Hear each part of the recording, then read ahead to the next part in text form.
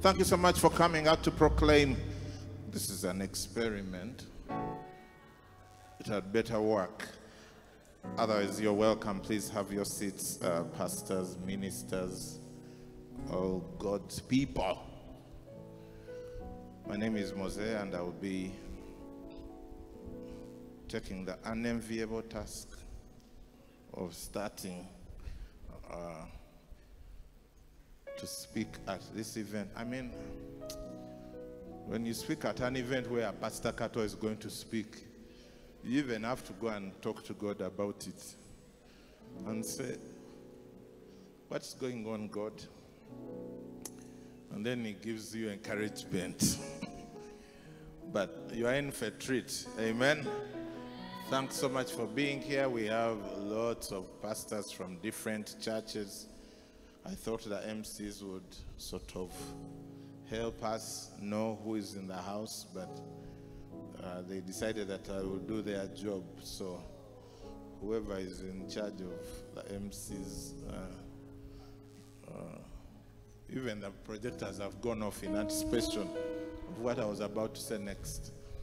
But we have lots of people from different churches. I think we have more than 50 churches represented in the room. Yeah, yeah, yeah.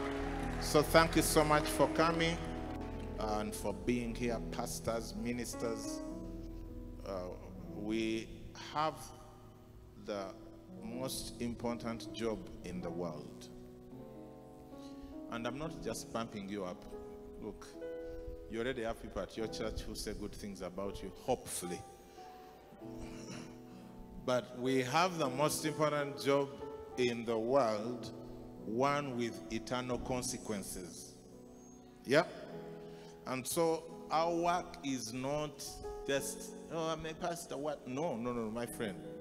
In the last two years, I've come to appreciate the importance of the work that we do and how we should always be very uh, aware of that and not ashamed of that. Amen. Yeah, look, people are chasing things that will be over in a few years. We are chasing things that will be going on thousands, millions of years to come. So, thank you. Thank you so much, pastors. I'm going to take a risk. Uh, you know, I'm a risky person and invite the lead pastors, where you are the senior pastor of the church you lead or in the in the country to stand up because I want us to appreciate these lead pastors. And I'm going to ask everyone organize your voice and your hands and your joy because we are about to uh, let me you see if the president of Uganda came in here yeah, even if you may be of different colors, I'm sure there will be enough excitement out of honor, right? If the Kabaka of Buganda walked in here, even if you are not a Muganda, even you, you would, you would be excited. I, I hope you would be. And if you are righteous, you should be. Uh, on behalf of all the other people who, for, now, I'm talking about people who have a more important job than all those people I've just mentioned. So, can I invite the senior pastors to stand up in this place as we appreciate them? Yeah. Proclaim. Come on, come on.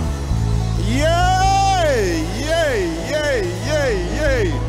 Woo! Woo, woo, woo. Keep that clap going. Amen. Now, I'm going to invite that all the senior pastors who are back there should come to these tables on the second row, these tables here. Whoever is in charge of them, whoever is helping them, please bring them forth. There's some space on that table, there's some space on this table, there's some space on this table. Uh, let's the, right here, right on the second row tables. Let the, please keep the whatever going. You people, do you know what we are talking about here? These are the VVV VIPs of the kingdom of God. Forget the VIPs of this world. These are VVV VIPs of the kingdom. Thank you so much, pastors, senior pastors. Please have your seats. Uh, I, I really, I really want us to honor you. You've taken the risks. You've endured abuse, lack of appreciation. You've been foxed. You've been knifed. You, th- people have said things about you.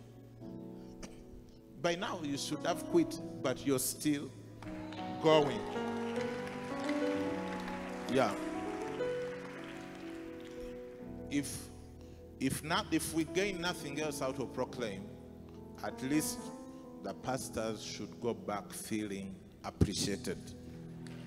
That that is purpose enough. Amen. Amen. I have a timer and it counts downwards. I don't even know who came up with these kind of things.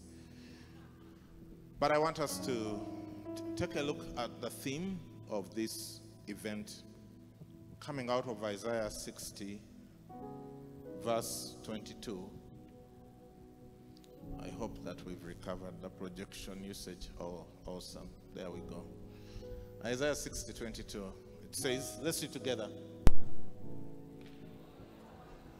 A little one shall become a thousand and a small one a strong nation.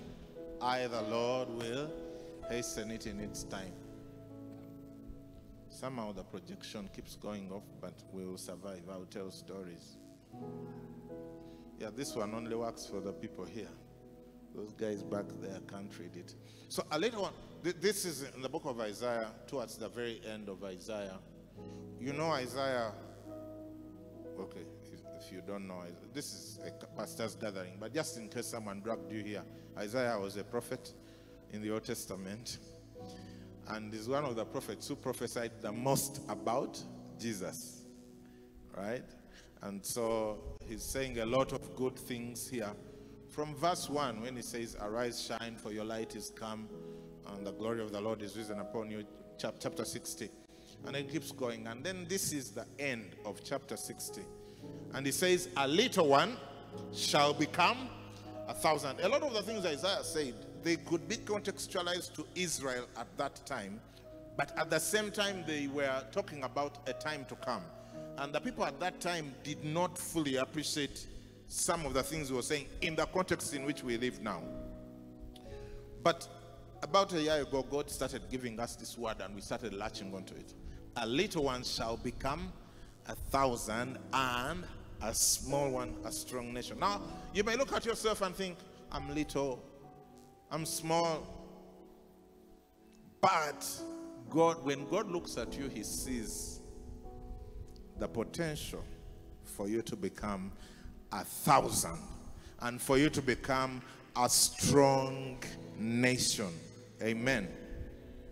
When we say nation, people think about countries, what, what. No, first forget that. You know, eh, God had a relationship with a man called Abraham, which was a personal relationship. And out of that relationship came a relationship with a whole nation called Israel. And my task this morning is just to convince the pastors that within you lies a nation. Within you lies a nation. People, believers who will come to know the Lord Jesus because of your work, because of the multiplication of your work, and that will be, it can be to the scale of a nation. Amen. Just please, whatever you do, please believe it. Yeah. You see, believing costs nothing. Yeah. It's the work thereafter which will sort of take some energy. But just the believing part, just believe it. Believe it that Vive Church is a nation. That New Life Church is a nation. That Lugogo Baptist Church is a nation. Wonders Christian Center is a nation. Jesus Worship Center is a nation. I'm just looking here in front, the ones I can see quickly. Mavuno Church is a nation. Trinity Chapel is a nation. Hey! City Church is a nation. It- it- with United Faith Chapel is a nation. Yeah, a little one shall become a thousand, a small one as a, a strong. Look, he doesn't say a big one shall become a thousand. No, no, no, no. You might be thinking this is for big people. No, the prophet has said this is for small people like me. Yeah, small people like us who no one believes in or respects or even what. No, we God has set us up And it is possible. It is possible. I happened to perform brilliantly in mathematics for some reason that is not subject to investigation. Uh, so I know a thing or two about extrapolation. this is a pastor's gathering, and when I say extrapolation, people just start Googling. uh, that's uh, so. This the way I preach. Ideas keep coming up when I'm preaching, which those who teach pastors to prepare might say, because you didn't prepare well, the ideas should come in the preparation phase. But imagine with me a graph, yeah? And you have one here. Okay, one. And then one, the number, yeah? Moja, yeah? We have people here from Nairobi. So one, and you extra, you, you draw a graph and one goes to one thousand. Now, even if you're not good at math, let's say you just are good at pictures. If you do one and you add three zeros, it becomes a thousand. Now, when it says a strong nation, it doesn't give us a number. So I like to use the his the previous. I like to extrapolate. If with a thousand, it's obvious he did one and he added three zeros. What does strong nation look like? I think you just add another three zeros. Uh,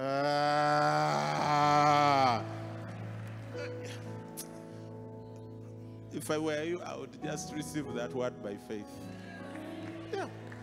Because in our generation, God is starting to raise ministries that are going to have a million people. These things have happened already in Nigeria. They are going to happen in Uganda. They are going to happen in East Africa. Where when they trace Jesus Worship Center, people who have come out of it, it's a million strong. So that when they say, call your people, uh, you can't use a building like this when you call your people. Because a million. And I'm talking to you, pastors. That's in you. God put that in you. Don't allow any negative voice of reason you see, the worst voice is the voice of reason. Yeah. The voice of reason doesn't walk by faith. Because you're going to look at your resources. You're going to look at your current size. You're going to look at how long you've been going and how many you have and discount yourself. Do not discount yourself. Yeah, I've just learned that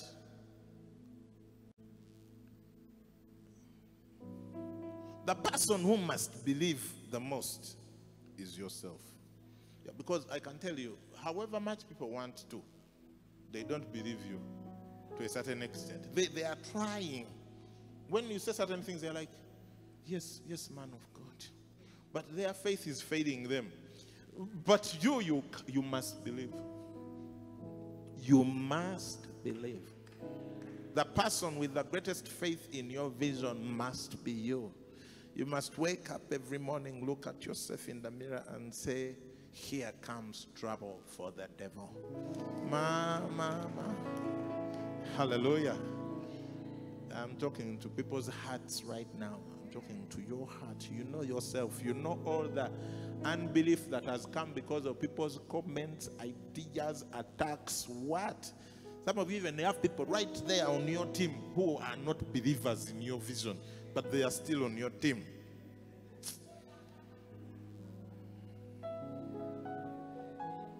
Bible says, cast out the mocker and strife will cease. Ish, stop the meetings. Stop the negotiations. God didn't call you to a negotiation ministry. Your, you, it's, the most important thing for you is to protect your heart. Anything around you that compromises your heart must be eliminated. Because there are millions of people whose eternal destiny depends on the state of your heart. Am I, am I, am I making sense? Yeah, that's why you're here at Proclaim, where we believe. Look, me, I believe for you. If you don't believe, I believe. Amen. And I've seen enough to believe. I've seen enough to believe. Maybe God put this vision in our hearts because maybe we sort of fit the, the, the picture of this journey. When we started this church, we were the joke of the city. Yeah, the laughing stock. like we were young, we were not trained in church things. I've never been to Bible college even up. No, I went to uh, Charis Bible College for one year. Other than that, I don't have a recollection of proper training. Untrained, young, unequipped in the traditional sense, unbelieved in. Like no one was willing to, to take a risk and say, okay, you go start.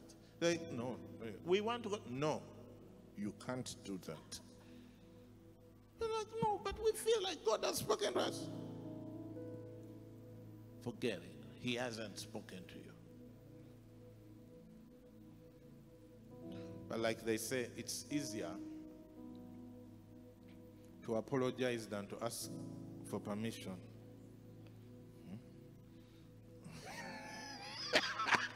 Some people are saying it. Some people are waiting for the message to begin. It began already. So we're like, you know what? What's the worst that can happen? If we die, we die. If it doesn't work out, we'll all just go back to our former churches, apologize, and you know what? Yeah. And if it works out, we'll still go back and apologize for starting without permission, which we did, and we were forgiven. A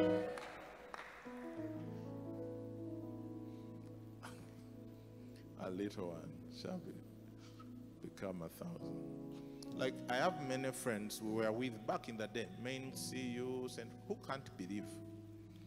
Yeah, like for them, their faith, even after 15 years of worship harvest, has jammed to come up to say, Mose, no, no, not that Mose we know. That one, that joker guy, the one who plays joke, cracks jokes and plays keyboard.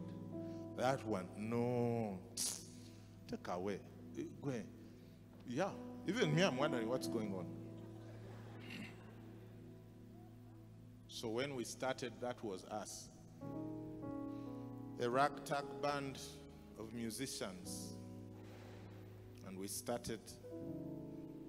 We were so few that during praise and, and look, we went and hired a restaurant. And I think even the restaurant people, they gave us one Sunday. Then afterwards, they started hiring it out to other people, and they gave us the veranda of the restaurant. You know, when people don't believe you uh, to the extent that they give you the veranda of the restaurant. That was our church veranda. Yeah, Chongqing. So during praise and worship, my goodness, there would be two people in the crowd. You know, crowd. Do you know that two people is not supposed to be a crowd? Two people in a crowd. These people are singing, dancing their legs off. Two. Because another two people are at the gate welcoming people. Of those who are not on the, on the band, and maybe another, uh, someone else. Uh, Pross is here, a young. Uh, where is Pross? Is she around? Yeah. No, someone else is trying to organize where the kids. Hmm? Did we have kids? We had a kid. No, I hadn't yet had children. Ours came later. Didn't we have someone with a kid? No one. Eh, no, we didn't have. Yeah. We, we didn't have children's means when we began. That means that everyone was not of childbearing age yet.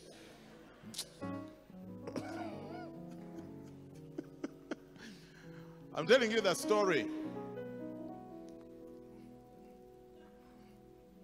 For us to use that mega venue of the veranda of the restaurant, we needed to pay a whopping 30,000 Uganda shillings per Sunday. 30k. Brian, Ezo. Yeah. Now, we never paid for two Sundays in a row. I will not tell you why. Yeah, just know we paid every week 30k. That's all. Yeah, there was never a point we went to the restaurant and said, Can we pay for a month? No, no, no.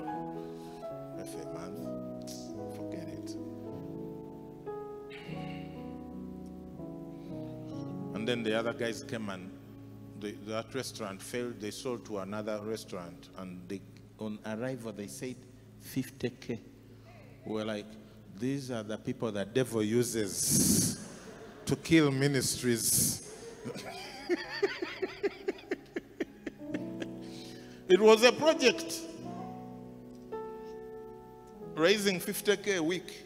It was a project. You, might- you might be looking at oh, these buildings and think, Mama, no. Mm. Never did we pay two weeks in a row.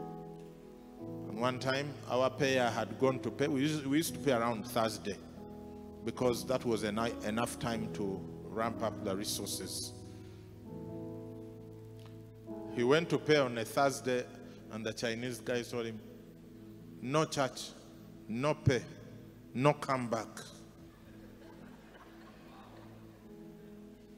Hey.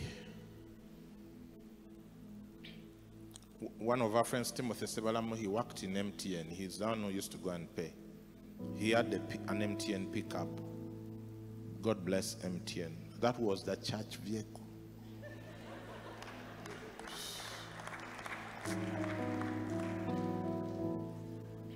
Official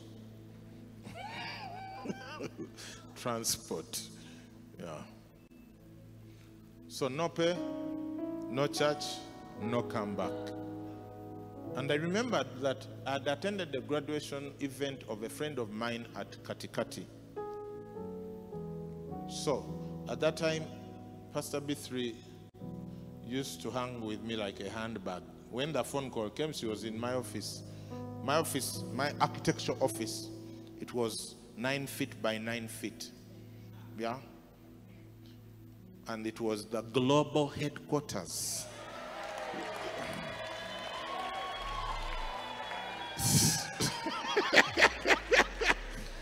Yeah, and we had a store, a store, one meter by two meter store. That's where we kept the sound equipment. Our, our biggest net worth, the, the things that we owned as a church, eh, it was that sound equipment. Was the global headquarters of Worship Harvest Ministries International. Hey! Yeah. So the call came in. I just somehow I remembered Katikati. It must been it must have been the Lord. We drive to Katikati, find the manager, talk to him, and says, "You can have the place, a hundred thousand. We're like, "A what? 50k was nearly taking us out of business. Now you want a hundred thousand. We negotiated for like an hour to bring to take off 20,000 to 80,000 per Sunday, half day usage. That Sunday we arrived at Katikati with our equipment and we saw the biggest hall ever. We're like, Lord, if you fill this hall, may your servants depart in peace.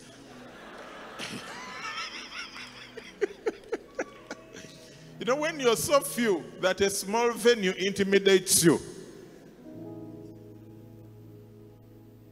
I remember going to America one time and visiting this church whose stage, the stage of the church, was the size of our church.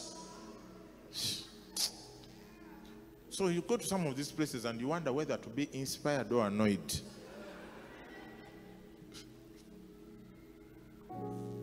So that was us. Now, a little one is becoming a thousand.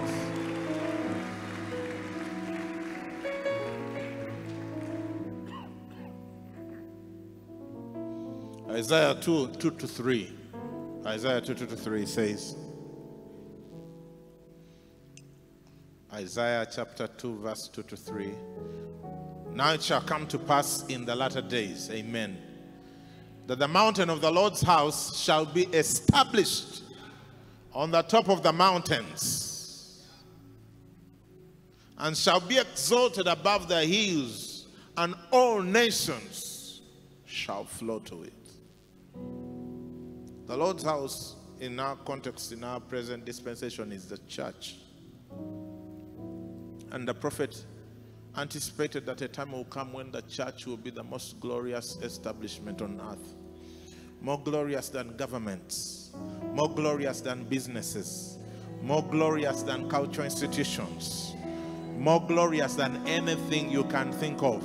And I can tell you, maybe you've suffered so long that you doubt that this is even possible, but you're going to see it happen in the name of Jesus. If you just stick with it, if you just stick with it, with all the wounds and all the betrayal and all the whatever, if you can find someone you can cry with and go back, pick up that microphone and keep preaching, you're going to see the word of the Lord fulfilled. A time is coming in this nation when in every neighborhood the thing, the reference point will no longer be the other shop, the boda boda stage, the, the whatever, the school, the no, no, no, the district headquarters. No, no, it's going to be the church. It will be the church. It will be the church. People will say, You mean around this church? Or around that church? Where are you going? No, no, no. You, when you find Vive Church, turn left. Yeah. yeah. When you find CPM, turn right. Hey, when you find Mavuno, uh, take a boda. Hey, it's going to be the church. And, and look, look, I, I know you probably have gone through too much, and I sound like hollow. Uh, no, you just stick with it. Stick with it. Yeah. The key thing is stick with it. Amen. We just finished our Easter Sunday. I, I'm sure it was Easter Sunday everywhere, right?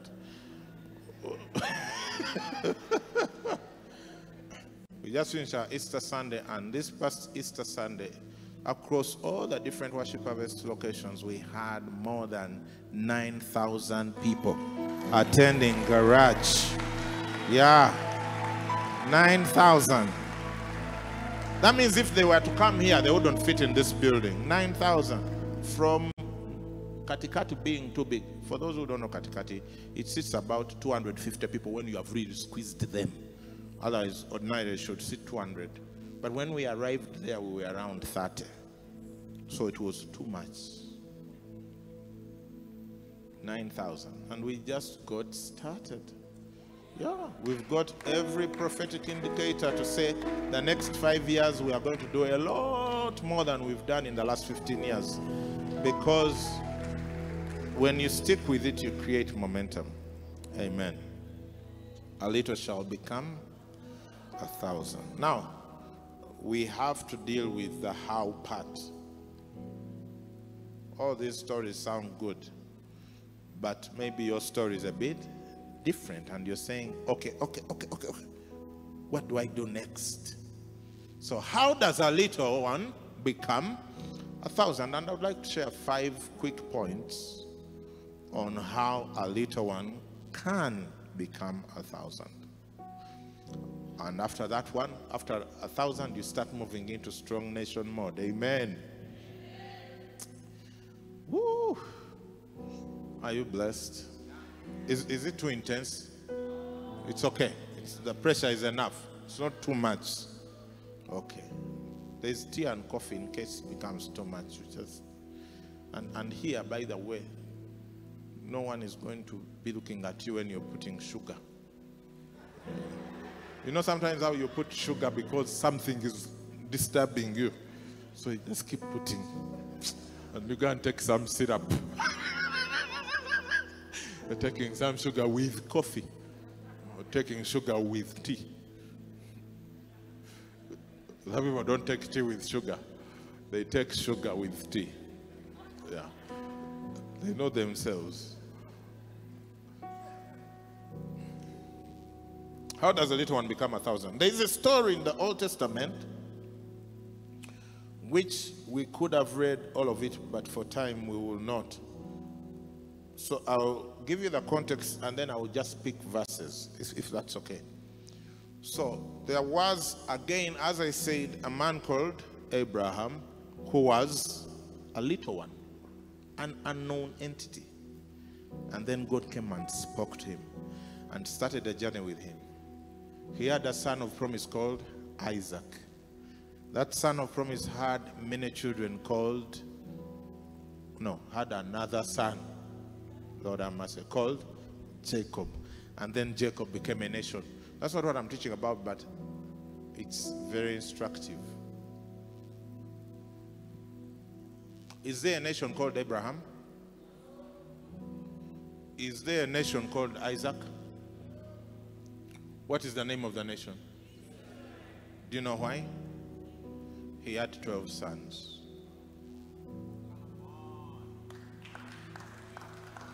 I, Abraham couldn't become a nation because he had one son. They call that succession. Isaac couldn't become a nation because he had two sons. They call that addition. Jacob became a nation because he had 12 sons. They call that discipleship.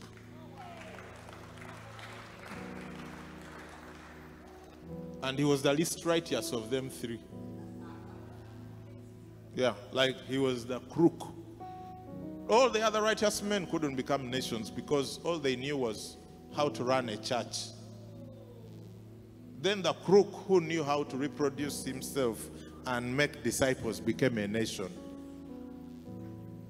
So just don't run a church where you're the everything. Produce sons and daughters. And in Christ, you're not limited to 12. You can overdo it. Even Jesus, when he came around, he copied who? He didn't copy Abraham. He didn't copy Isaac. Who did he copy? Jacob. He also had 12 sons. Not in the natural. So you don't have to worry about family planning. Jesus had 12 sons. He became, he's, a, he's not just a strong nation, he is mighty nations, billions strong. Jesus, because he had 12 sons, whom he named apostles. Ah, I think proclaim has begun for some people now. Some people's eyes are starting to be opened. They are starting to see the possibilities when you move from running a church to multiplying yourself.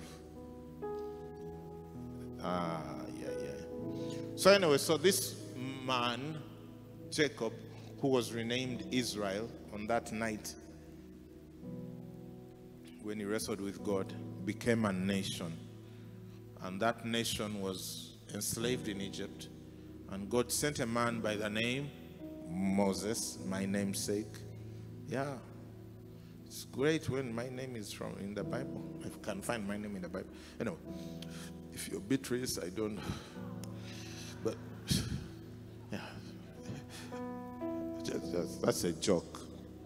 Don't go disturbing the people at the registration because you're renaming yourselves. I'm Moses. Yeah, even when you're a lady, you're trying to name Moses. Anyway. And this nation was enslaved in Egypt, and God sent Moses. Moses got them out. And so Moses is, has got them out. It's now a, a strong nation. In other words, he has already become. But then there is a certain way in which he's leading the nation that is not going to be helpful. So one day while they were out there in the bush, Moses is doing his thing. His father in law, of all people, father in law. Wow. Now, for me, my father in law is wonderful. But not everyone may have a very good father in law. So his father in law comes with his wife and children and says, I'm coming to see you. He welcomes him. He goes out of the tent. He bows down. He welcomes him. He honors him. He tells him what the Lord has done. He acknowledges what the Lord has done. He offers a sacrifice. And then the next day, he's seated in his tent. This is the father in law. And he's watching Moses in his tent. Yeah? So they were all having coffee. I don't know if they had uh, sanitizer, Brago sanitizer. Uh, there was no COVID, so they didn't have masks on. But he just sat and he observed Moses doing counseling from morning until evening. And then, afterwards, he, he, he had a, an inter, kabozi, over dinner. Hmm? I don't know what they were eating, probably Rolex, Commando, and something. Yeah, wilderness canteen. So they are there eating uh, in the wilderness canteen. He said, What's the thing you're doing? I saw lines of people the whole day. What, what, what it is? And Moses is like, What are you like, No. What do you mean? That's my job. I sit there, they bring their issues, I solve them, we go. That's this, this is Moses International Ministries of the Wilderness. Yeah, the Lord showed me in a burning bush. So the father in law says, if you could give me verse 17, verse 17 of Exodus 18. Let's read together. Uh huh. So Moses' father in law said to him, The thing that you do is not good. In other words, you can be doing a good thing, but not in a good way. You might, the Lord called you. You may even have seen a burning bush like Moses. Some of you, the Lord, the way He spoke to you when you started ministry is so vivid. It scares the rest of us who just feel like we are guessing. But you know, even if the Lord spoke to you, you can be doing the good thing in a bad way, like Moses. This is the thing that you do is not what? Both you and these people who are with you will surely wear yourselves out. For this thing is too much for you, you're not able to perform it by yourself. Listen now to my voice. Are, are you there? Are people there? Listen now to my voice. I'll give you counsel, and God will be with you. Right? Tell me verse 24. Verse 24. Verse 24. Let's read this, please. If your phone is disturbing you, release it right now and read verse 24. Uh huh. So, and did all that he had said. Moses listened to his father in law. Now, the first point in becoming a strong nation or a little one becoming a thousand is being an avid learner and follower. You must be a learner. If you're the kind of person who says, I know what I'm doing, you are finished even before we start. For a little one to become a thousand, you must be a what? A learner, a listener. And really, right now I'm preaching to the choir because you're here. All those who think they know they, are, they know what they are doing, they are not here. You, you're here because you're thinking there might be an idea. You know, sometimes the way conferences work, it can just be one thing said, or one experience, or something, a song. It's, it, it's amazing. It can just be experiencing. It might be just seeing a person. It can just be seeing how people are dressed. It's interesting how God works. But the point is to posture ourselves to be learners. One of the greatest advantages of this church called Worship Harvest is because none of us has ever gone to Bible college properly. We are not well educated in these matters. So, we, and we know it, and we acknowledge it, and we carry ourselves around like that. Steve Jobs said, Stay foolish, stay hungry. We are hungry, foolish people around here. You just come around and, and see. We copy everything that seems to work anywhere. Like, what, what, what, what, what? Hey, copy. Just copy. Don't ask questions. Everything that seems to work in this church, we copied it from someone. We are learners. Become a learner. Pastor, become a learner and a follower. You see, you might be thinking that Moses was some small boy there with a stick, so his father in law could come and say, Do this. And say, Okay, daddy. No, no, no, no. Let me paint for you a picture. You have a whole nation in the wilderness, right? Who makes military decisions? Yeah? Moses. So he's the he's what do they call he's the high command of Israel.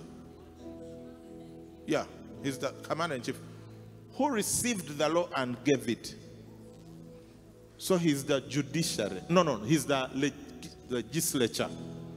Those who don't know how nations work, there's legislature, judiciary, and executive. Yeah. So the legislature are the people who make the laws. So Moses is the one who received the law and gave it.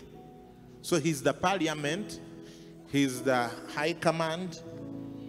Who, who, who judges the people's cases? He's the judiciary. Who makes executive decisions of who goes where, what, what, what? He's the cabinet, he's the president, he's the king. Who is the man of God who God talks to? He's also the archbishop. Now, imagine a nation where all those functions are embedded in one man. The military function, one man. The legal function, one man. Executive function, one man. The spiritual function, one man. And then that one man has a name. Eh, the, too much investment in that one man. You know, some people, they, they, they tried, they said, this is too much investment in one man. We need to do something about it. Eh, they found out that it was a bad idea. One of them was Moses' sister, Miriam, and his brother Aaron. It usually starts with those who think they know you well. Yeah, it starts with those who think they know you well. Does God talk only to Moses? What? Eh, eh, eh, God came and said, Moses just fell on his face on their behalf. Then afterwards, the sons of Korah, the priests, those are usually the pastors in your church, come and say, This Moses, thinks too much of himself. What? Is it 140? Huh? Hmm? Over 250? 250. The, the earth opened like this. And they went in and then it closed. They had a, a, a bad style funeral service conducted by God Himself. These guys were poking their noses on the wrong fellow. So this is the Moses we are talking about. Then the next day, I don't know why people don't learn. The next day, uh, many of them gathered and said, Sha, you killed. Ay, ay, ay, ay, ay, ay. He sent Aaron and said, Take the censer now, run. It has begun. By the time Aaron managed to run through the 14,000 down. That is so, man of God, I want to propose to you that you are not yet at the level of Moses. I think. Oba, you are. I haven't heard of any people being swallowed at your church. And hopefully I won't hear. Eh?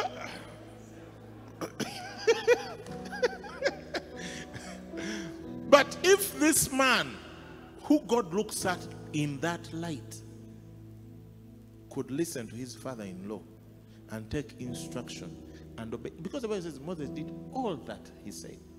Because Moses could have been saying, You are a priest from Midian, you are not a man of the God of the. Of, you know, he was a priest from Midian, he wasn't a, a, a priest of the living God. You know, your religion, what? I, I, because I took care of your sheep now, you think you're a shepherd. You, how, what do you know about leading nations? But Moses listened. Who you honor and follow will determine where you go in ministry. Who you honor and follow will determine where you go in ministry. Yeah. If you think that you are the first thing that has ever happened, and the whole world is so blessed to have you around, my friend, there, is nothing new under the sun. There have been people who have come and gone. They've done great things. Follow. Who you honor and follow will determine where you go in ministry. Who are you following? I'm an ardent follower of, of people. It's been one of my biggest blessings. When we started, we didn't know what we didn't know what we were preaching. And God miraculously sent a man called John Cato, who introduced us to the discipleship evangelism course of Andrew Wommack. That's when we said, What? Salvation is by what? Grace. Righteousness by faith. The things were always in the Bible, but we didn't see them. We just swallowed everything hook, line, and sinker. And you, if you listen to us, you'd think we go to Andrew Wommack Church. We were abused, called all sorts of things. We didn't care. We found something that's working because what we had wasn't working. As a result of following Andrew Wommack, my marriage was saved. Yeah. This church survived. People were healed. We understood grace. You see, there are people who come to worship harvest and they just think we are one ongoing joke. Because people are so happy they look like they are drunk on something. No, we actually don't drink alcohol around here. It's just the joy of knowing how much the Father loves us. Look, if you're looking for any church where people understand the Father's love for them, it is this church. Yeah, you can't convince people here about anything. They are so established in the fact. That's why they are happy, generous. What? Yeah. They don't go around pulling rank and showing you how important they should be. No, they just, yeah. You find them serving you tea, you don't know they run companies. You think they are serving tea because they have nothing to do. No, they took time off their jobs and running their businesses to come and serve you. Why? Because they understand the grace of God, because of Andrew Wommack.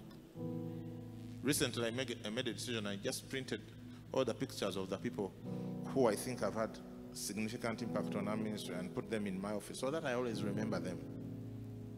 Yeah. So when you come there, you will see this picture and you may misunderstand the, the, the significance of their being in my office. No, I'm just saying, if it wasn't for Andrew Wommack, I wouldn't be here.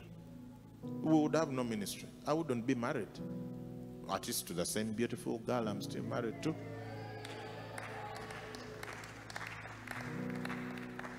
Become a follower. Become a follower. We followed Andrew Wommack. We learned about grace. We followed Mike Breen. We started missional communities. He was a pioneer of missional communities. Missional communities.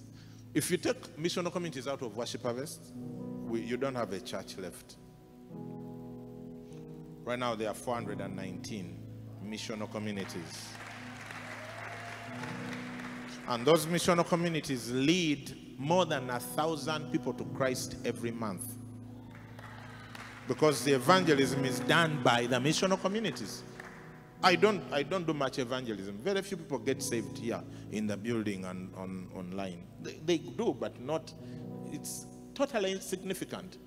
Now, look, we used to have about 500 salvations a year. A year. Like when we compile the people who have got saved after a whole year, it used to be about 500 people. Now we are having a thousand a month just by shifting strategy. Without Mike Breen, we would just be lost in the woods. We wouldn't have the results we are having. We wouldn't have all these amazing leaders leading missional communities. Are you there? Yeah. John Maxwell, leadership. Out of that came Harvest Institute, Harvest School of Ministry, School of Practical Business, just John Maxwell. Straightforward financial growth masterminds and all those things. We have here Matt from New Thing. Matt came and started us on Matt and Teleria. They came and started us on accelerating in what? In uh, church planting. Yeah, we were already into church planting, but we were stuck or we were moving slowly. We opened up. We invited people, they didn't come. So he did it only with one church. Now we are high speed. High speed. Yeah. Because we're like, okay, what? Come. He came. Every three months he would fly in from Nairobi and train us on how to multiply your church quicker. Are you there? Recently, we started following Bishop Dag Heward-Mills of Lighthouse Chapel. These guys are crazy. There are like 6,000 churches. You see, when you have 21 like us, and someone has 6,000, you, you just keep quiet and do whatever they say. That's what we do. For us, that's you, your, your approach may be very different. I'm just telling you my approach. Mine is to follow hard. Yeah, when I decide to follow a person, I follow hard. Like I listen to Bishop Dag almost every day. Yeah, I used to even preach short sermons. Now I preach long sermons. And I'm looking at this clock. Hey.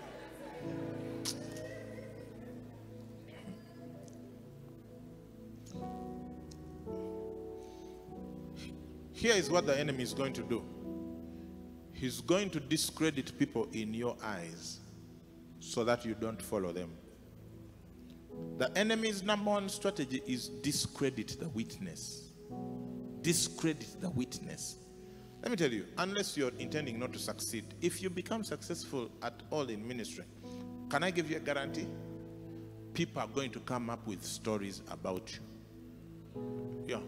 That one, just be ready for it. Don't be shocked. Don't be annoyed. Just keep going. Because that's the enemy's strategy. To discredit you so that those who should have gained from you don't gain from you. Because in their hearts, you're already discredited. Even if they've never had the opportunity to really ask you, these things that people say about you, are they true or not? Because many people here, you know things about people that actually you can't prove to be true. But the enemy has just set you up so that you have no one to follow. Because as long as the anointing lies with men, and women, they will always have issues. Elijah had issues, but Elisha had to follow him. Saul had serious issues, but David had to follow him. Who should you be following that has been discredited in your eyes that you need to go and wash your eyes so that you don't get stuck? If you're looking for an angel to follow, the angels don't plant churches. The people you're going to follow are going to be people with very interesting weaknesses. Pastor James. but you have to follow. Right? Find someone to follow. I, I got this quote from Bishop Oyedepo. He said, You walk by common sense. That's how you learn how to walk common sense. You just look at adults walking and you're like, I think I can do that. You run by principles. If you're going to participate in the Olympics, there are principles you follow.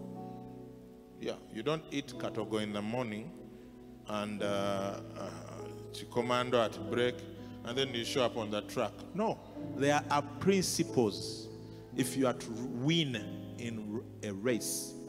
So you walk by common sense, you run by principles, but you fly by instruction. Pilots don't operate on principles or common sense. Pilots fly by instruction. The day you learn to follow instructions, you are going to multiply your speed. Speed, speed awaits those who are willing to follow instructions. Jesus told his disciples, Follow me. He didn't say, Study me. He didn't say, Read about me.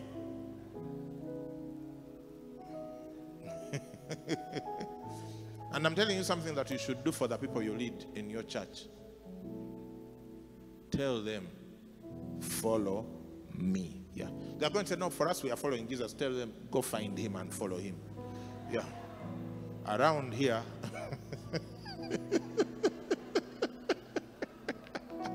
I know I'm scandalizing some of you. Yeah. You see, people are saying they are following Jesus, but they have no living example. That's why we have all sorts of funny people in church, fornicators, mean people. What? Because there is no living example. Follow me. Jesus told them, Follow me, and I will make you become fishers of the person you follow makes you become something.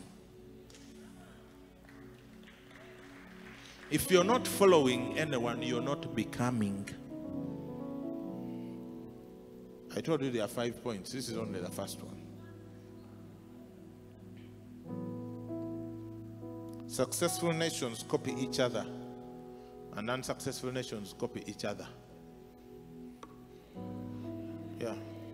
That's why all the poorest nations, I, I learned this from Bishop Dag, it's only nations which specialize in agriculture that have famines. Think about it. It's a contradiction that the nations whose biggest economic activity is agriculture are the ones where there are people lacking food. There is a problem. Yeah. You see, all the cars are the same. They just keep changing the whatever Toyota, Nissan, Mitsubishi, but they are all the same. Have you ever stopped to think? The steering wheel is the same. They all have an odometer, speedometer, side mirrors, gear lever, what? Accelerator pedal, brake pedal, wind screen. It's all the same. Just you, you, the, you're here in a cycle. We want to do our original thing. There is nothing under the sun. Find something that works and follow it. Stop wasting time.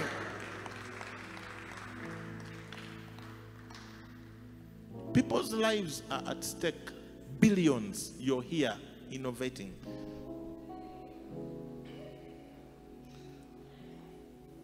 Point two.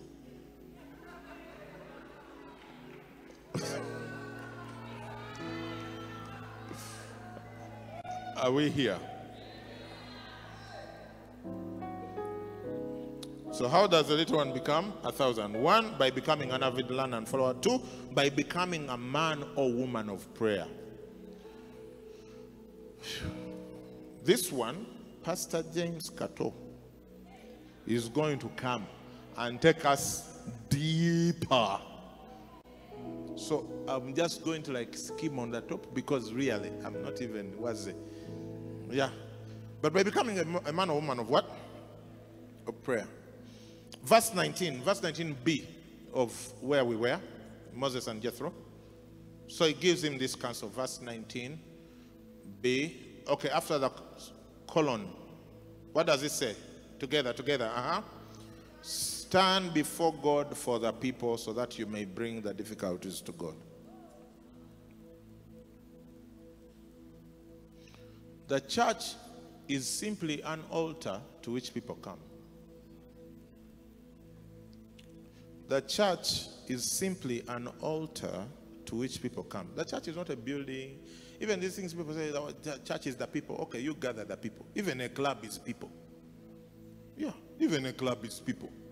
Does it make it a church?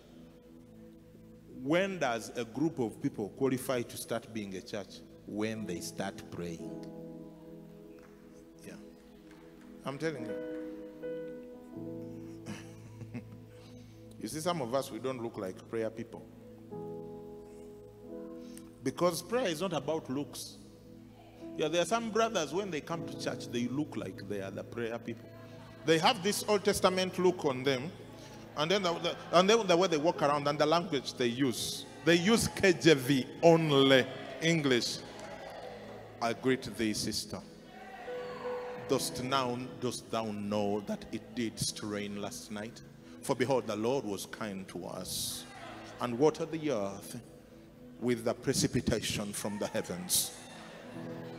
Ah, I see that thou art, hey, thou wist not that. Yeah. So when you look at a guy like Isaac Macharia, please stand up. yeah. Please stand up. Please stand up. Look at the people. Look that side. Does he look prayerful at all?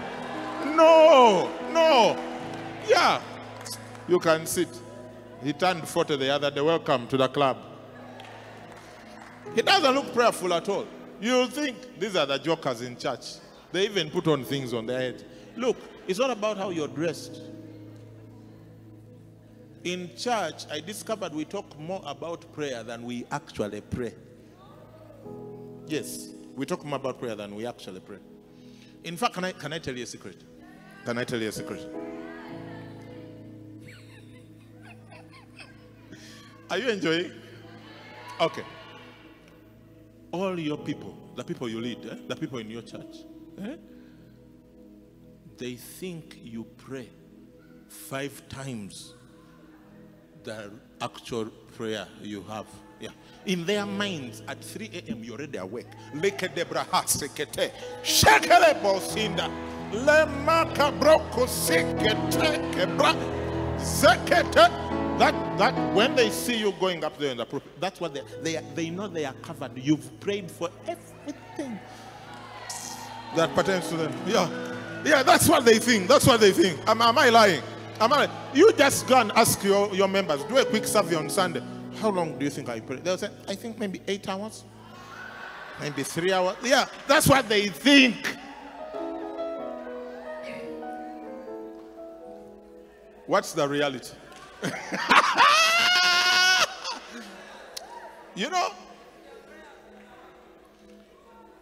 I, I had planned to wake up and pray this morning because I knew I was going to minister.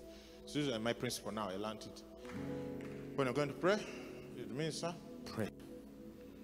I, my, our service is at 9 o'clock. I come to the building at 6 and I go to my office and pray until the service.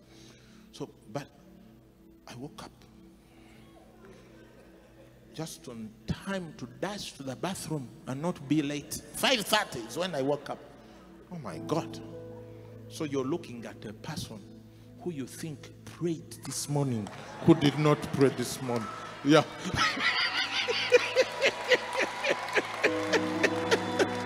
yeah. Yeah. But the anointing is still there, right? God is still working. But I'm just telling you, even me, you're here, you're thinking, where I came from, Macabra. No.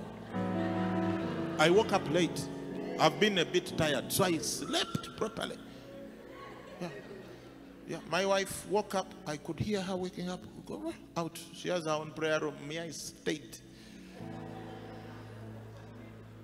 And lost in a negotiation with a blanket. But here I am. Now you, you think, okay, okay. Eh? It's what? It's our prayers. Stand before God for the people. Prayer. I used to be a prayerless pastor, I should confess. Because I knew all these other things about church planting, church growth. Because I was an avid learner, I thought it was the strategies that were going to cut it. I, I, I, was, I was a student. So when, when I woke up in the morning, my typical uh, like quiet time would be like some 20 to 30 minutes of prayer and then about one hour of Bible reading. That's why I was, I'm very proficient in the word. Then I started listening to Bishop Dag and he said, he said, Jesus said, "Could don't you wait even an hour? It's like a basic Christian life is an hour a day. That's basic. That's for the Christians, not the pastors. I was like, "Eh, this guy, he has thrown me even outside the Christians because I wasn't even doing an hour. Are there people? Ah, just look straight. Don't look around. People might think. So I, I learned. I, I said, okay. If that's what it takes, I'm going to learn how to pray. How can you tell you've prayed an hour? You have to use a timer. Did you know without using a timer, you did I tell you that people think you pray longer than you actually do? Can I tell you another person who thinks they pray longer than you do? That you pray longer you. Yeah, yeah. I'm telling you, try it one day. Because you're going to start.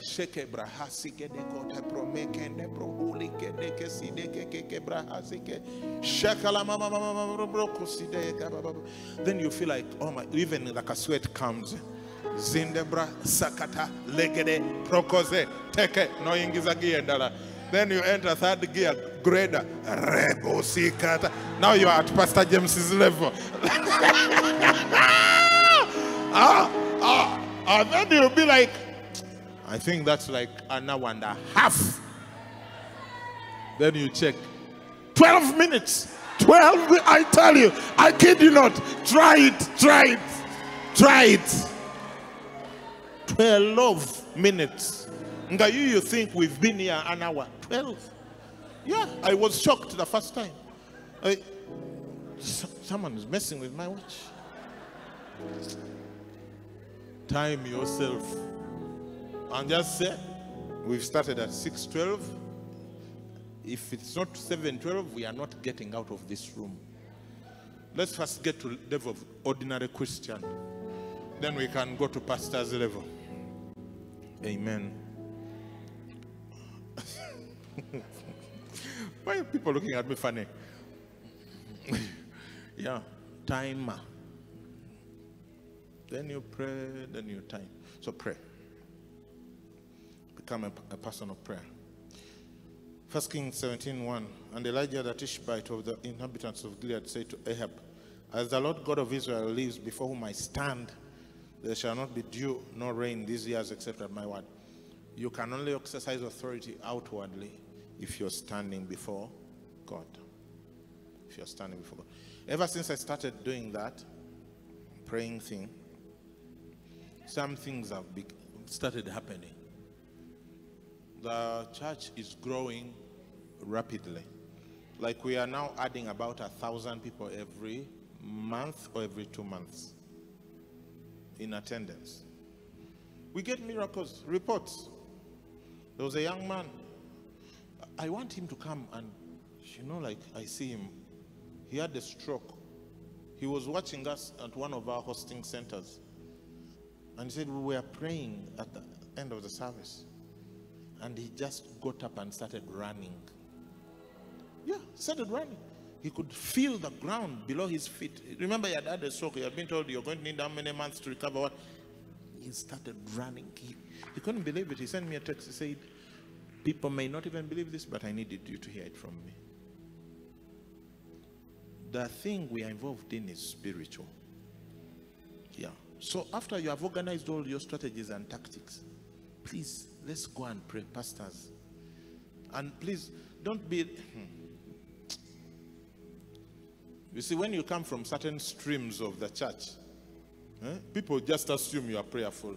Like if you are from Miracle Center, me, I think you pray the whole night automatically. Think it might be a different what story. So there can also be that thing of "Fe- batumanyinga tuli basabi. But it's not about we. No, it's about you. Okay. Yeah. So let's go and pray. Use a timer. Play some music while praying. The music, silence is much slower than when there is music. That's why when they say, let's have a minute of silence, it becomes very uncomfortable very quickly. So if you want to pray longer, play some music. Please, I'm now giving you real practical things. Time yourself, Play some music, find a consistent time and place as much as is possible. Those of you who are into this prayer thing, you know that travel is what, the worst thing that can happen to you when you have to shift spaces and what it becomes harder unless you are really, yeah. But always have that Bluetooth speaker that you can use to play music off your phone when you need to pray. Make sense? Point three, by teaching people the word of God. wow, point three. No, not this is not under prayer. How a little one becomes a thousand. What did he tell him? Verse 20. Verse 20. You shall teach them the statutes and the laws and show them the way in which they must walk and the work they must do. I'm not going to go too much in detail, but teach people the word. Okay? Teach the word. Teach the word. Teach the word. The word of God is the seed. The Bible says the sower sows the word. If you want the results God gives, teach the word. Let's in when it comes to the word, let's all become Baptists. Yeah? Dr. Dennis Kilama is here. Yeah. And, uh, and Dr. Richmond Mondwandera.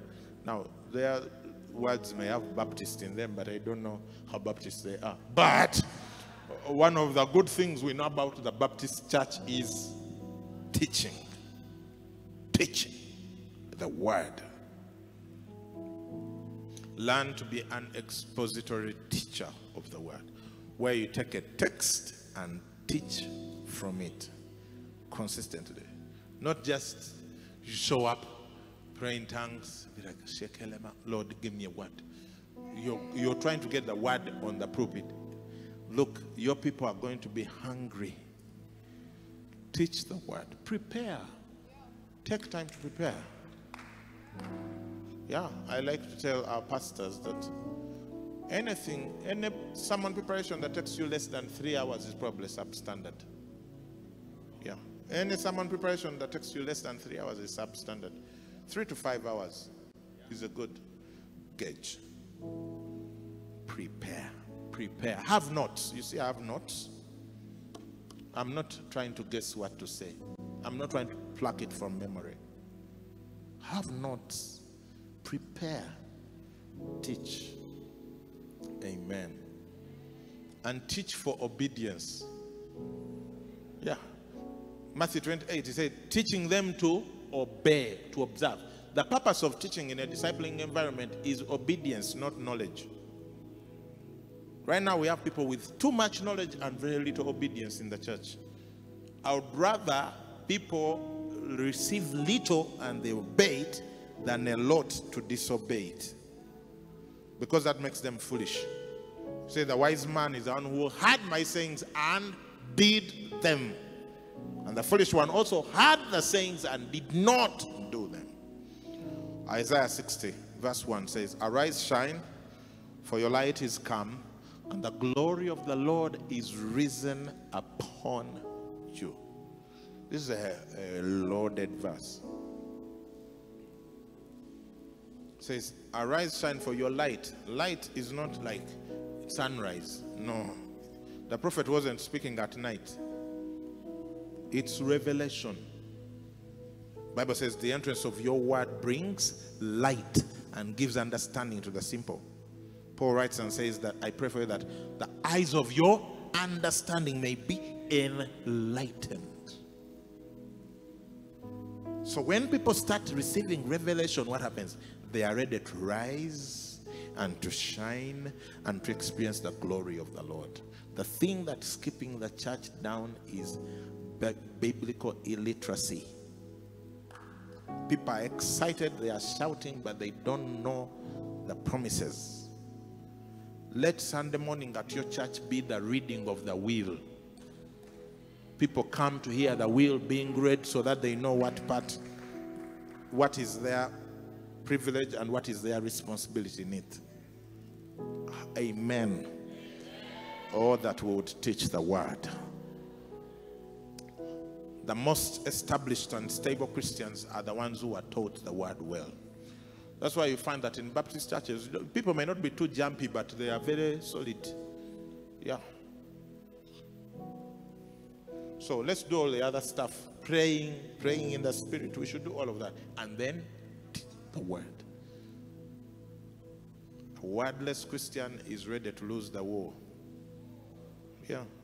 People who don't have the word, they're already ready to lose because our only look, when when the devil was taken into the wilderness, rather when Jesus was taken to the wilderness and the devil came, what did he do? Did he say, Get behind me, Satan? Like a zebra? No. When the devil came, he didn't, Jesus didn't start casting out. What did he say? It is written. That should be the standard response to every provocation of Satan to a believer. It is written. But if you don't know what is written, you're finished. And who is responsible to make sure people know what is written? It's us, the pastors. But if we are teaching other things other than what is written, then we are setting up our members to fail. Amen.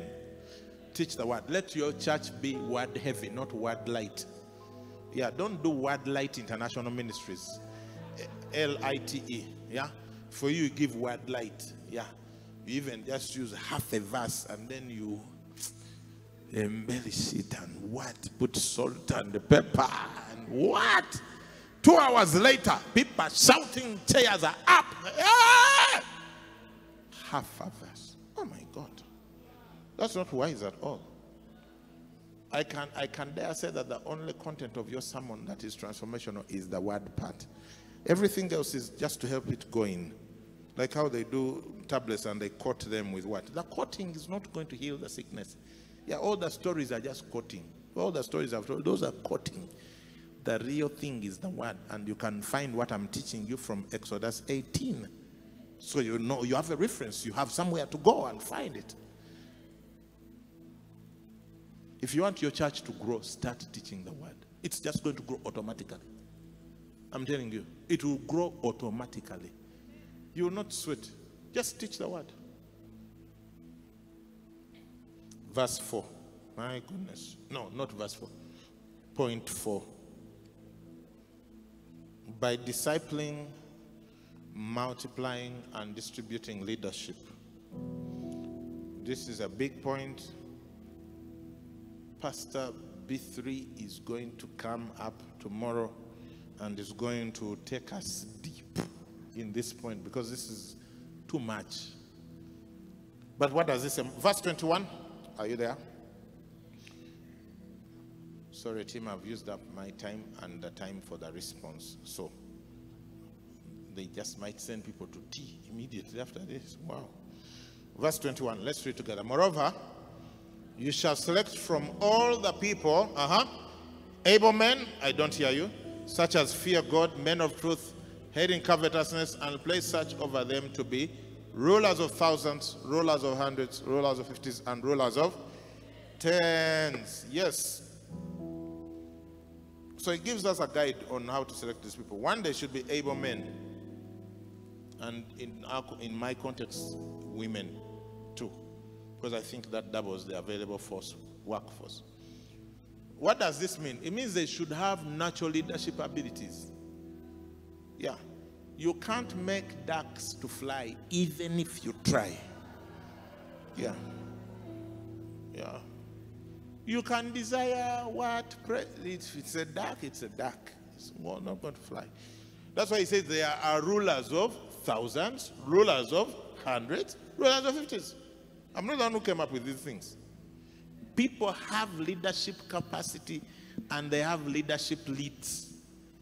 You get a, a, person with a leadership capacity of 100 and you give them a church of 1,000, they will immediately tone it down to the number that they can handle. I can tell you that.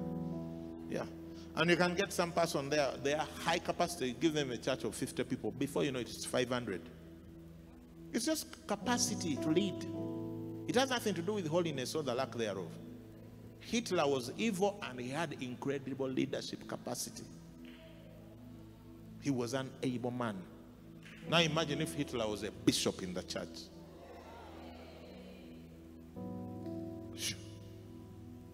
Yeah. Able. These, unfortunately, may not be your close relatives. True or not true? None of Jesus' immediate 12 was his relative. One, they should be able. Two, they should fear God. People with a reverence for God. People who have a reverence for God also have a reverence for authority, human authority. This business of me, I only fear God, I, I, I no, it doesn't work. That's why Moses respected his father-in-law. And they hate covetousness. This, this should be people who practice radical generosity. Yeah. For us in this church, uh, don't tell anyone, this is a top secret.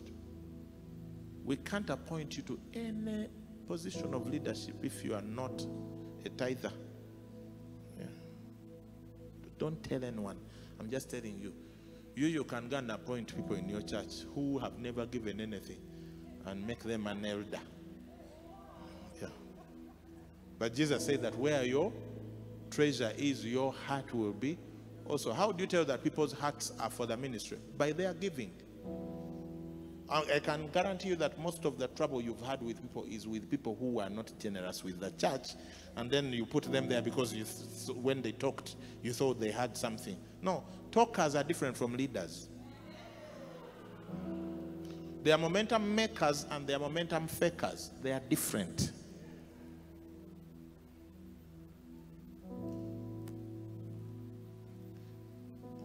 I'm just trying to give you some very practical things you can take home. Men who hate covetousness. How do you tell they hate covetousness? By their generosity with God. Able men who hate covetousness. Now, I'm going to teach you something slightly different in regard to able men, which I don't want you to go without.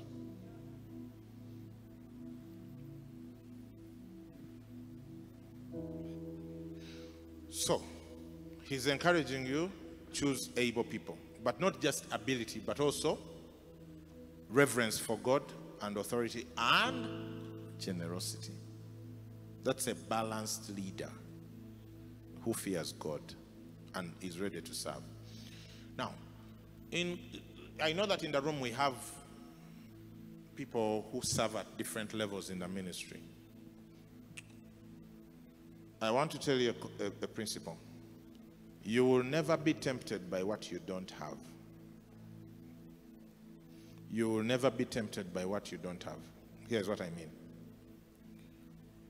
Churches, one of the deepest problems with churches is rebellion and divisions. Okay? And the rebellion and divisions don't start with people who are on the fringes. It is people who are at the core because they have the influence. Okay? So I'm teaching this to if you serve under a ministry, how not to abuse your influence, or if you serve as the leader, how to be careful with how you distribute influence and leadership. Don't just to get excited and tell the person you are my deputy. Where is the faithfulness? Because you're setting them up to be tempted with the influence and authority they have to abuse it if they haven't proven themselves. I know I'm, the point hasn't reached, but it's about to. So here is the point. Who in your church is going to be to have the highest temptation to create division and, and, and what? And, and rebellion? It is the people who are next to you in authority. Because they have the influence. They have the influence. But oh, I know these are your friends, but I can tell you they are the ones who have the greatest temptation. For me, it is these people here the front. And they know it. And don't keep quiet about. Talk about them in advance. Because if you start teaching after the fact, they will know, ah, Rakubanga Biji now is teaching this thing. No, teach them before people get opportunity to what? Think about Moses. Who, are, who were the first people to challenge Moses' authority? Aaron and Miriam. It wasn't outsiders. And afterwards, who was the next? Sons of Korah, Levites.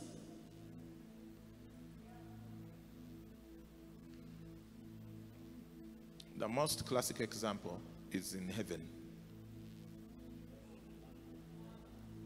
who dared challenge the authority of God. It wasn't some seraphim on the fringes uh, who was in charge of the pearly gates. No. It was one of the three archangels. There is uh, who? Michael, there is Gabriel and Lucifer. The temptation had to go for one of those. And Lucifer fell for it. Because you can't be, if, if, if the lead pastoral position is so far away, you are a deputy third assistant usher, you can't be tempted.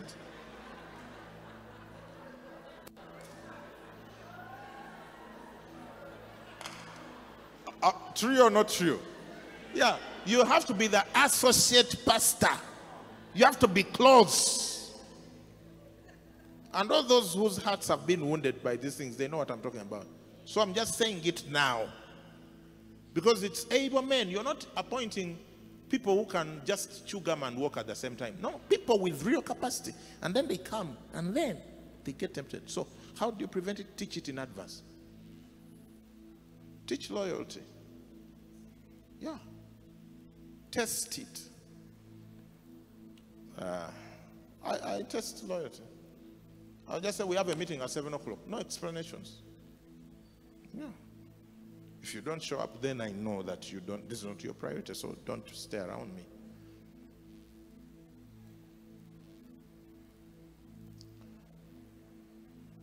Am I making sense? I know it's right now we have entered quiet, quietness Presbyterian church, but you probably need to hear this. You see, if you go to the supermarket, you go to ShopRite, hmm? then it's you just saunter. You know, some people, how can your church be neighboring shop ShopRite? Like, life is not fair. So you just saunter into game, eh? break. You're in a break. The only time you're tempted to spend money that you have not budgeted is if you have the money. Can you face temptation to buy things you haven't planned for if you didn't carry your wallet, if you don't have any money? No. You just admire all the things. You not even check the prices. Yeah, window shop and go. Why? You don't have capacity to shop. So the only people who are tempted to rebel, divide churches and, and whatever are the people who have the authority, the influence to do that. Just observe that as you go forward. And in case you're here and you've been planning to do that, please don't. The, our mission is too critical for us to be engaging in those kind of things. Support the ministry where God has put you. If He wants you to go out and plant, He will make it clear to you. There will be third witnesses. Usually, there has to be a third witness to know that it's the Lord. Yeah, He will show you. And when you leave, don't leave banging doors. yeah, go quietly. Maintain honor for where you came from. Send a seed regularly and, and, and, and grow the relationships. Am I, are, are there people? You probably thought we were going to talk about the abomination or desolation at the holy place, the cherubim and the seraphim. We are dealing with real things. Amen. This is a big point. That's why I'm delaying here, even though my time is up.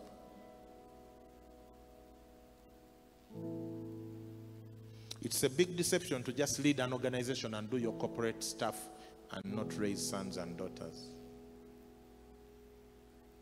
Are you here? You can teach what you know, but you can only multiply who you are. You can teach what you know, but you can only multiply who you are. And the enemy doesn't mind you succeeding in quotes as long as you don't have spiritual children. In the ministry, real success is raising up not workers, but sons and daughters who do even more. Pastor Solomon is one of is are you here? I'm finishing. This is the first time I'm mentioning that. Is Pastor Solomon not around? Is any of your disciples here? Huh? Are any of their disciples here? You're not sure? Okay, you come with your disciples, or one or two. Come quickly, please. And come with your discipler. You are the controlling verb. So bring your disciple, bring your discipler, and if any of your disciples disciples around, they can come.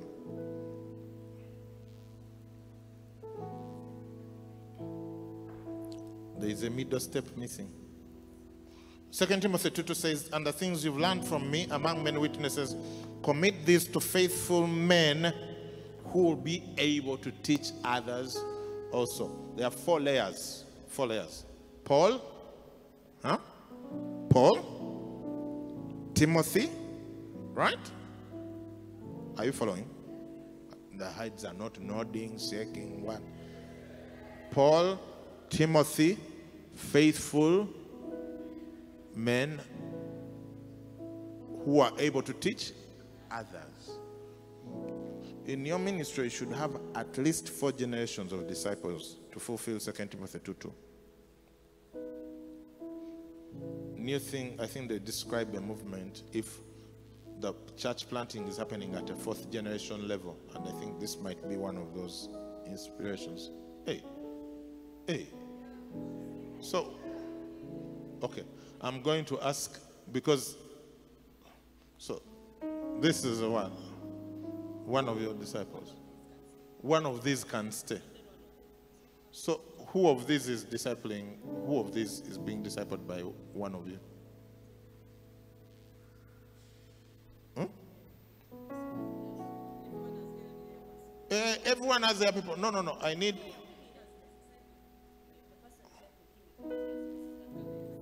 Okay. I'm going to ask that we clap for the four of these as they go back, go back. But thank you. Huh? Who is discipling who? Oh, Come these ends. Hey, let me see.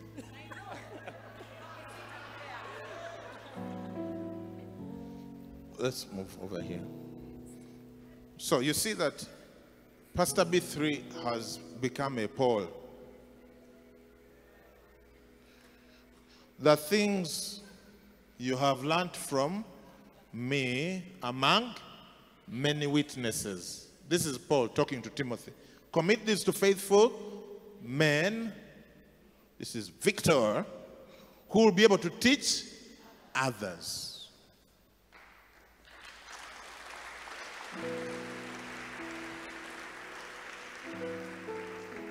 Previously, I used to be here, but now, even if I take myself out of the picture, the scripture is still fulfilled.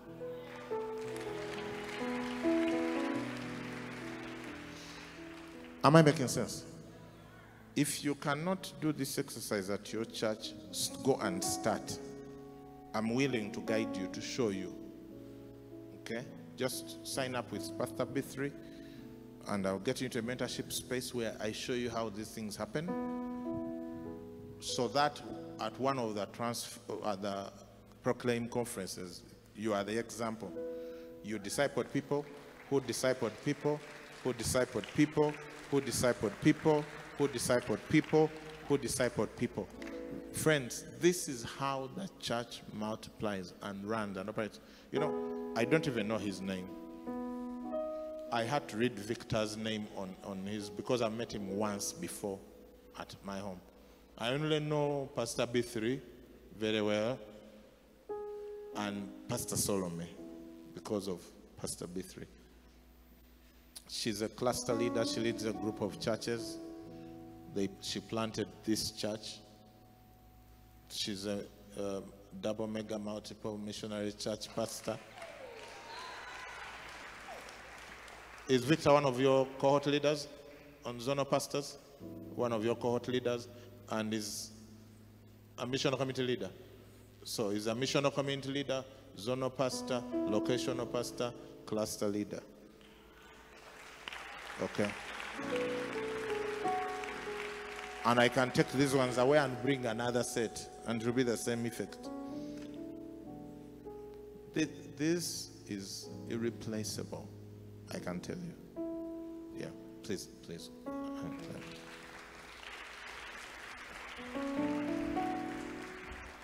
Why didn't Abraham become a nation? He had one son. Why didn't Isaac become a nation? He had two sons. Why did the crook, the supplanter, the one who needed God to first break his leg, Jacob, why did he become a nation? He had 12 sons. Go start raising sons, and I can tell you, one day you will have the level of joy that I have. Yeah. Because I'm, I'm very happy. Personally, Malimunda. When I look at these people, I'm like, what God? Why me of all people? What, why, why? I've never bribed you. Why me? Why, why should you give me this honor and, and privilege to have many generations of believers? Can I finish? Point five. I want on that point just to represent those people they talked about. Worship Harvest has 419 missional communities with 6,600 members in the missional communities, which is 83% of the church, leading a thousand plus people to Christ every month. Point five, by engaging evangelism. Pastor Gerald Mwebe is going to come and uh, and stir us up on this. Verse 25, I'm finishing. Verse 25. Ah. And Moses uh-huh, chose together able men and of all Israel and made them heads over the people. Uh-huh. What, what, what happened? Give me, give me the numbers. Give me the numbers, people. Pastors, give me the numbers. Uh-huh. Rulers of thousands, rulers of hundreds, rulers of fifties, and rulers of tens. In worship harvest, we like to say that our location pastors are rulers of thousands. Every location pastor knows they are moving towards being a mega church. Our location pastors are rulers of thousands. You can replace the word ruler with leader if it makes your heart pump at a less pace. Our zonal pastors are leaders of hundreds. Our cohort leaders are leaders of, cohort shepherds are leaders of 50s, and our mission community leaders are leaders of 10s. That's the operating principle. I just wanted to give it to you so you know how it works. Now, you are thinking, so you're saying evangelism, how does it relate? Here is how it relates. Hmm? In your church, hmm? do you have leaders of thousands? Hmm? If when you're distributing leadership, do you have leaders of thousands? Because that's where it starts. You may have leaders of hundreds. I hope you have leaders of hundreds. You are not one pastor and then a crowd. Because armies don't work like that. There is structures. Generals, colonels, sergeants, what? That's why armies win. There is a command structure. You don't just find one guy and everyone else. That's how your church should be organized. Because you are in a war, in case you didn't know.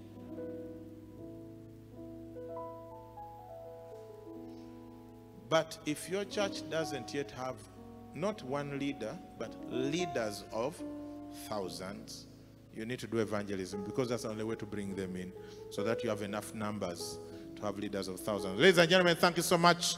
It's been a great pleasure sharing with you this morning.